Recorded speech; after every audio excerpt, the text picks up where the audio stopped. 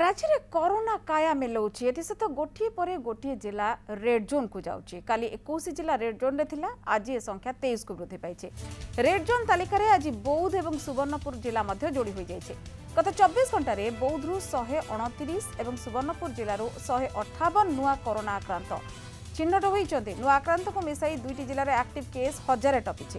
ଏଥିସହିତ ରେଡ୍ ଜୋନ୍କୁ ଯାଇଛି ବୌଦ୍ଧ ଏବଂ ସୁବର୍ଣ୍ଣପୁର বর্তমান সুদ্ধা খোর্ধা জেলার সর্বাধিক তের হাজার পচাশ আকটিভ কেস রয়েছে বেড়ে সুন্দরগড়ে সাত হাজার শহে চৌবন এবং কটকরে এই সংখ্যা রয়েছে পাঁচ হাজার চারিশহ তেইশ ছটি রেড জোন জেলা সক্রিয় মামলা তিনু চারি হাজার ভিতরে রয়েছে অন্যপটে এবার মালকানগিরি জেলা গ্রিন জোন্রে অছি এঠারে সবুঠু কম চারিশ দুইটি আক্টিভ কেস রয়েছে সেপরি কোরাপুট গজপতি কন্ধমাল দেবগড় ঢেঙ্কানাল এবং কেন্দ্রাপড়া জেলা অরেঞ্জ জোন্রে অনেক